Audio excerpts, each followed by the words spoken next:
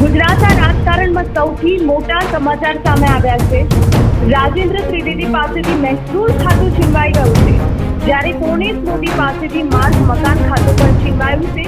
બે કેબિનેટ કક્ષાના પ્રધાનો પાસેથી પોતપોતાના ખાતા છીનવાઈ ગયા છે. સૌથી મોટા બ્રેકિંગ ન્યૂઝ રાજેન્દ્ર ત્રિવેદી પાસેથી હવાલો લઈને હવે ગૃહ રાજ્યમંત્રી હર્ષ સંઘવીને સોંપાયો છે.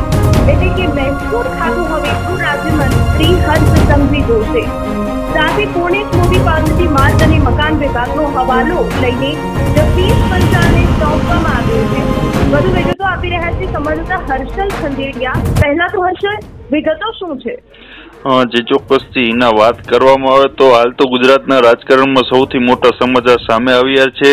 બે સિનિયર કક્ષાના કેબિનેટ મંત્રી પાસેથી પોતાના ખાતા છીનવીને અલગ મંત્રીને ખાતું સોંપવામાં આવ્યું છે, જેમાં રાજેન્દ્ર ત્રિવેદી પાસે જે ગૃહ રાજેન્દ્ર ત્રિવેદી પાસે જે મહેસૂલ વિભાગનું ખાતું હતું, તે ગૃહના રાજ્ય મંત્રી હર્ષ સંઘવીને સોંપવામાં આવ્યું છે. તેમજ પુણેશ મોદી પાસે જે માર્ગ મકાન વિભાગનું હવાલો હતો, તે જગદીશ પંચાલને સોંપવામાં આવ્યો છે.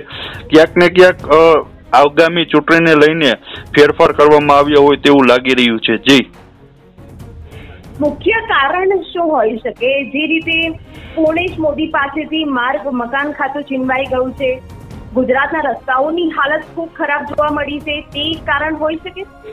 હા જે ચોક્કસથી એના વાત કરવામાં આવે તો પૂર્ણેશ મોદી પાસેથી જે માર્ગ મકાન વિભાગનું ખાતું આંચકી લેવામાં આવ્યું છે. એમાં ગુજરાતના જે આપણા રોડ રસ્તા છે એની હાલત ગંભીર હોવાથી તેના સામે બહુ જ જાજી ફરિયાદ હોવાના કારણે, એટલે કે રોડ રસ્તાની ફરિયાદ હોવાના કારણે તેની પાસેથી ખાતું છીનવી લેવાનું હોય તેવું સામે આવી રહ્યું છે.